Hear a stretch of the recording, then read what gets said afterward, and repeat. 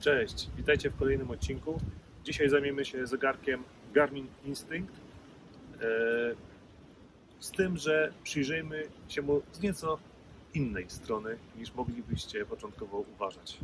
E, sprawdzimy, co to znaczy, jak zegarek ma normę 1810G. Zapraszam do oglądania.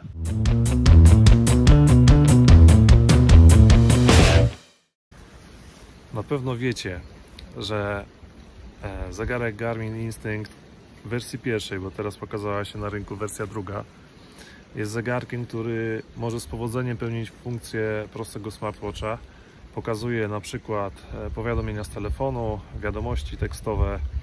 E, wiecie również, że jest doskonałym zegarkiem sportowym.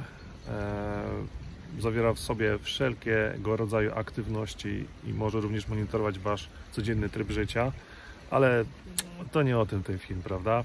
Garmin się chwali w swoich produktach, że spełniają rygorystyczne normy, innymi normę 1810G, która to jest głównie przeznaczona dla urządzeń wojskowych, e, a również z powodzeniem jest stosowana w produktach cywilnych. Zobaczmy więc, jak ten zegarek sprawdzi się e, w różnych testach i czy rzeczywiście e, nie mamy o co się z nim martwić.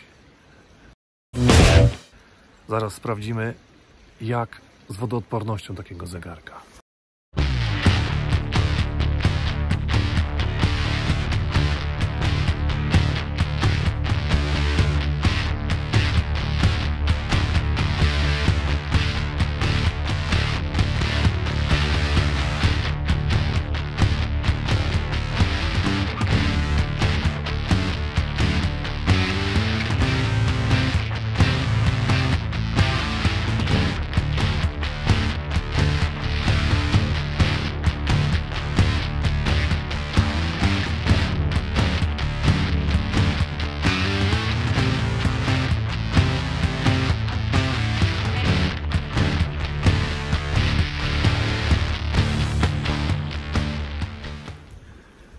Widzieliście w testach, zegarek wypadł doskonale, wręcz znakomicie.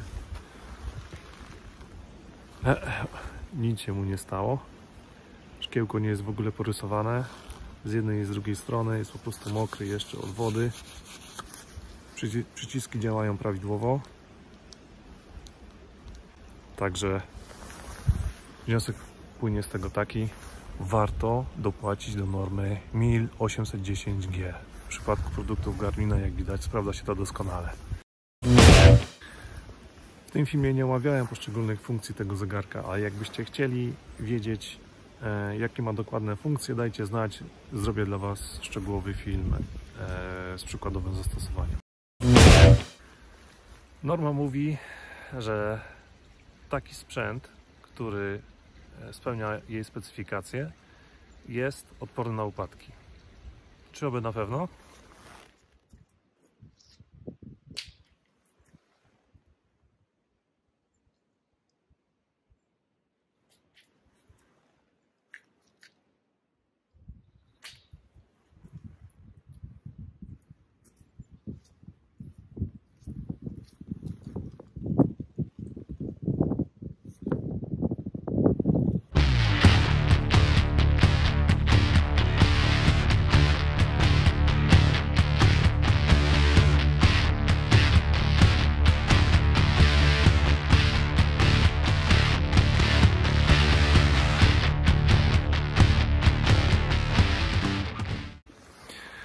Jak widzieliście, zegarek był zrzucany gdzieś z wysokości 1,5 metra.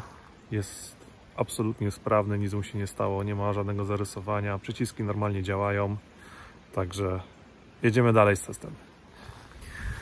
Norma również mówi, że taki sprzęt, który spełnia jej specyfikacje, jest odporny na kurz, błoto, na zarysowania i różne urazy mechaniczne. Czy oby na pewno?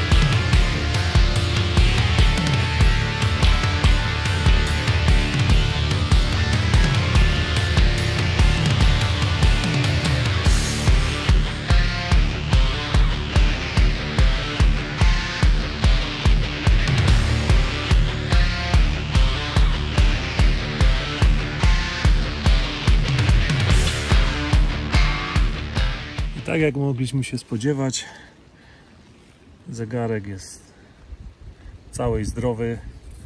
Oczywiście trochę kropli wody się zebrało i kurzył, ale nic poza tym się mu nie stało. Tak, wiem co powiecie.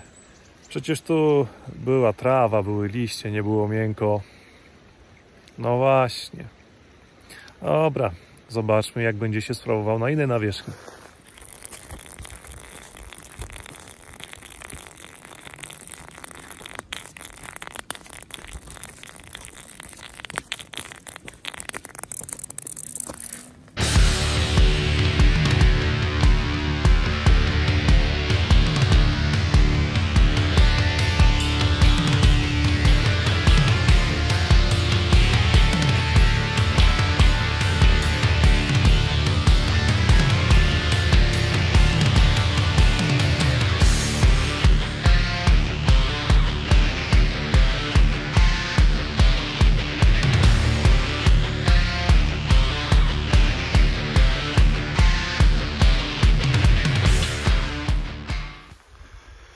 Tak, tak, wiem co powiecie. Nie było kamieni, płaska nawierzchnia, na pewno się nie mógł porysować. Hmm. Zobaczmy, co możemy z tym fantem zrobić.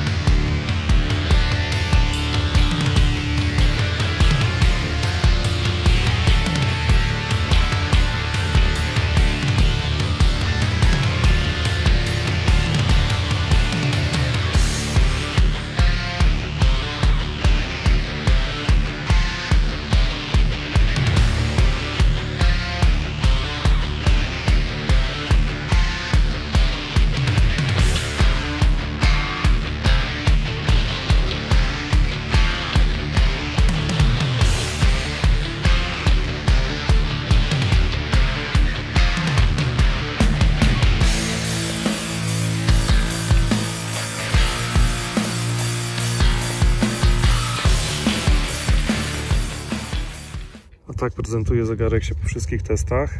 Jak widać nie ma żadnej ryski. Wiadomo, że jest trochę zabrudzony, ale absolutnie żadnej rysy na ekranie nie ma. Jak widzieliście zegarek sprawdza się doskonale, nic się mu nie dzieje, nie jest porysowany, e, wygląda jak nowy.